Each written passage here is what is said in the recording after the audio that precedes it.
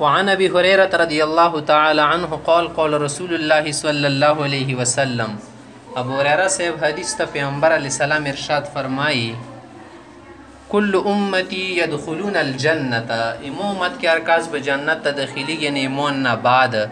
الا من ابا حکم سړی انکور وکو من ابا نسمنا د لوند لیکل امتنع عن قبول ما جئت به کوم شریعت مور وړه د کاغه نه کو قبول ظاهره د به خو ابا نه مور دا غشو څه کفر وکی یا ضروری شی نه انکار وکی یو نه دویمه منه چې د سنت پرېږدي سنت ته په حقیر نظر وګوري بیا ایمان خرابېږي یا عملی طور باندې انکار وکړي عمل په سنت نه کې اعتقادي طور باندې مني قیل چونه تاسو کو څو من عبد انکار کوونکا څه معنا د څه تل شي چوک دا کوم سړی د صاحب اباوي ابا یبي ابي تل شي قال وی فرمیل من اطاعنی دخل الجنه کوم سړی دی موی طاعت کوي سنت منی هم او عمل پکې دخل الجنه دا به جنت ته داخليږي ومن عصانی کوم سړی نه فرمانی کوي یا اعتقادا هغه خو بالکل به سره داخليږي نه او کوم سړی عملا نه فرمانی کوي فقد ابا دا سړی بچ شو انکار کوونکا شول عملی طور سره دا به ورسته جهنم نه روزي رواه البخاری وعن جابر رضی الله تعالی عنه قال جابر صاحب نے روایت تا فرمائی جاءت ملائکۃ الی النبی صلی الله علیه وسلم وهو نائم پیغمبر علی السلام ته وی پرې کې د پرشتو لې جامات رولو ټولګای پیغمبر سم غټیم کې خو بیولو په دې حالت کې چې خو بیولو فقالو هغو خپل منځ کې ویلو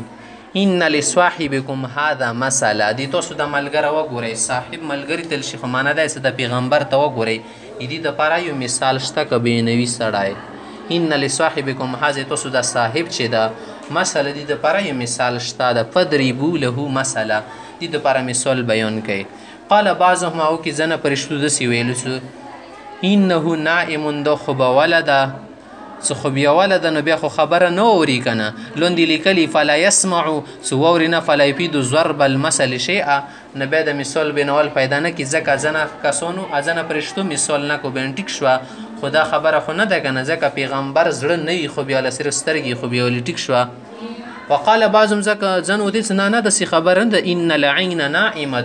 پیغمبر سترګې خوب کوي خو القلب یقظان زړه یې راویښ وي د هغه زړه نه خوبیالیږي ځکه چې پیغمبرانو ته په خوب کې وحی رچی کنه که چیرې زړه خوبیول شي بیا خو وحی په معنی باندې نه پیږي صحیح شوه فقالوا اغویل مثله کمثل رجل مثله کمثل رجل دې مثال خو د اخ سړي په شان دی دا بنا دارن څه مثلا کور جوړ کی سکله کور جوړ کی وجعل فيها مأدبتنا نو کور سره جوړ کی به خور کی دسترخوان غړی کنه نو مأدبه منه دسترخوان د ټکه د سره والی کوي وبعث داعيا سکله دسترخوان باندې خصمون کی در شه خوراک هغه نه بعد بیا پیغام د پر سړی است سپیکر ول ترتیبونه خرج کی نه وی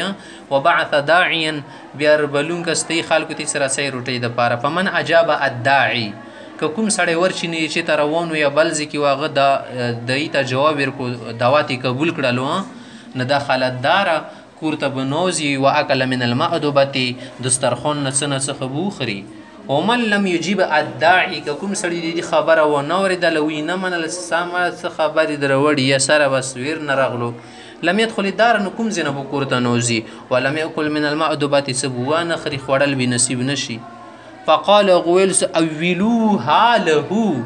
داغه مثال څه ده د حکایت تمثیلی الوند سره لیکلی کنه ای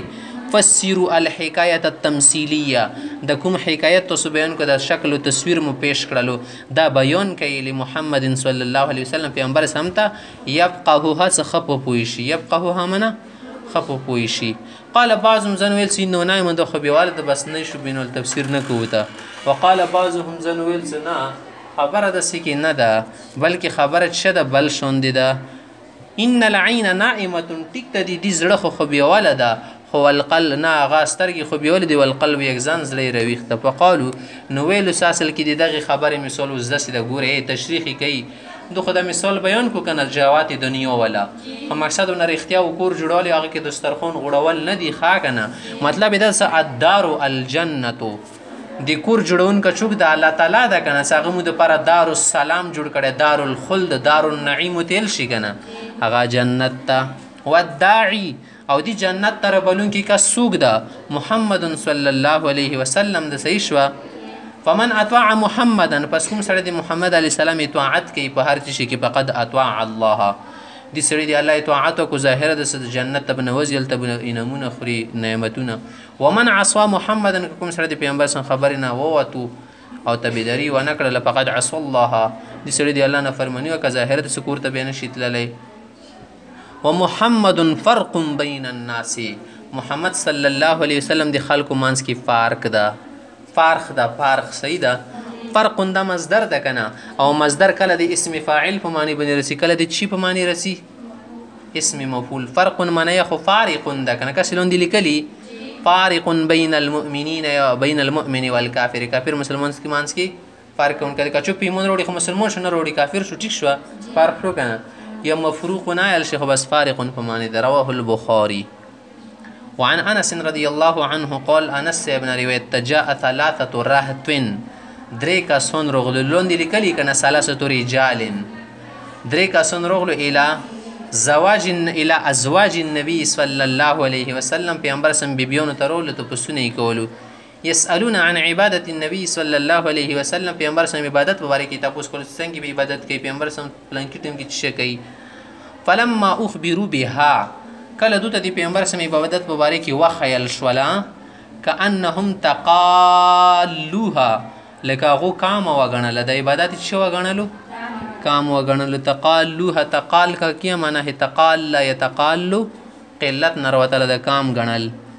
کام ګڼل دا معنا نه ده چه عبادات یی کام ده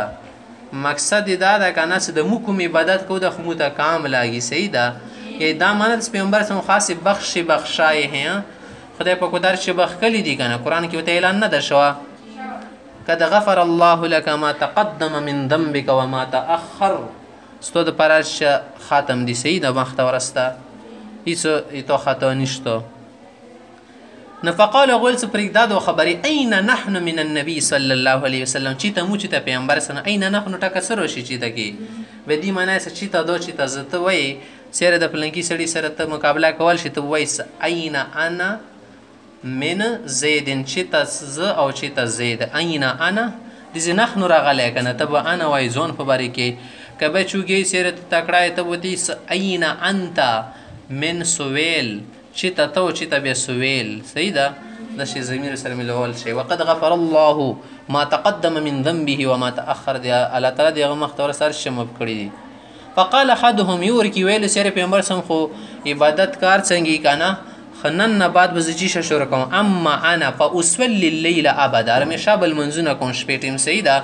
ټوله شپه وقال الاخر د بل صحابي ویل چې انا اصوم النهار ابدا زه بر صوت روژې نیسم ټول عمر کې ولا افطر روژې به نه ماتوم یعنی هر صوت به روژې نیسم او ژوند بنده سي تیراو وقال الاخر دریم پکې ویل چې انا اعتزل النساء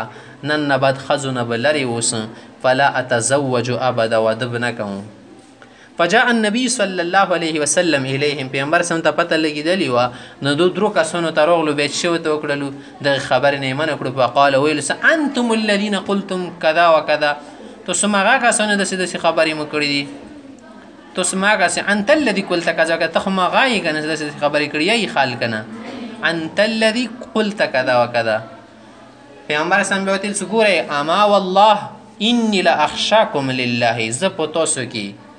ټول انسانانو کې خدای د پر ډیر یره ستونکا کاسنی لا اخشا لم تکیدیه شو کنه اخشا اسم فاعل صيغه ده که اسم تفضیل ده اسم تفضیل ده دون سره کلی کنه اخشا اخشا یعنی سیدا اخشا کم کم منا توسو توسو کې زیات یریدون کې الله ته واتقاکم له تاسو کې ډېر پرهېزګاري لاندې ورته لیکلي که نه پرهېزګار ترین شمع تاسو کې ټولو نه زیات پرهېزګارین شمع چې شتل شي شمع معنا تاسو ښه پټي شمع لکنی اسومو ایدی باوجود زه چې شکان څه ډېر متقي روژیا نیسم خرسوتې داسې نه ده واوفتر کله بیا نه نیسم واوفتر منه نه یې نیسم و اصلي المنز کوم خود سي خونه څه بس مې خیال مست لګې شم دی بدن حق د دې سترګو حق د و ارقدو خوبا کوم روما کوم و اتزوج النساء خذ سره ودا کوم فمن رغب عن سنتي بس کوم سره د مو سنت طریقه شو دین چې کوي برغبتی کوي بشوکی کوي بشوکی یو ترغب لوند لیکلی کنه اعرضا اعرض کی فلیس مني دا دی مو په طریقی نه ده کسی لونی لکلی من اتباعی دو دی مو تبی دری کون کی کسونو کی نشی شمرل دی مو فول ورس کی نه ده فلیس منی متفق علی ایدی حدیث نمو ده پارا سا پیغام ده سا میسیج ده امت ده پارا دا غا پیغام ده سو گو رئی عبادت شولو دنیا کې هر معامله یغه به اعتدال سره کوي یو مخې وته نه لګیا کیږي ځکه چې یو ماشین ولګي لتول هغه بیا خرابېږي سیز یا غوله پورزی کور پریږدی واضحه خبره ده همدا چې د په دنیا کې کوم یو کار هم وي چې هغه یو مخې لګیا شي هغه خرابیږي و درېدن شته د هر شي دپاره اروم رغله د اروم ویرکۍ منځ کې که کوم یو مشین دا که نه هغه سړي له تول ولګول یو مخې لګیا د لګیا د پرله پسې ظاهره د سدی کیسه پور زیبو کور خو مو خو پری ګدی امده شی ته انسون د یو مخی لګیا د یو مخی روژی نی سیار تل خو ظاهره د سړو کی بیره وزی غوخه وی خاتمه شی یا یو مخی لګیا د عبادت کی نو ریزی خو نشپی خو وی وارزی بلی وانای شی امده شی د خزو نه لری اوسی ظاهره د سیوا نه ورزی ګونو کی پری وتلی وی د سی خو خال ډیر کول شی خزو نه بلری اوسی ساره واده بو کینه باد نظیر بونی بوله ګوری همدا کاسه ټول نوالو بیا ګونو کی واقع شووی د کوم شینه سوره نفرت څه ساتي بیا ځونته سړی کینشکه یا ډیر.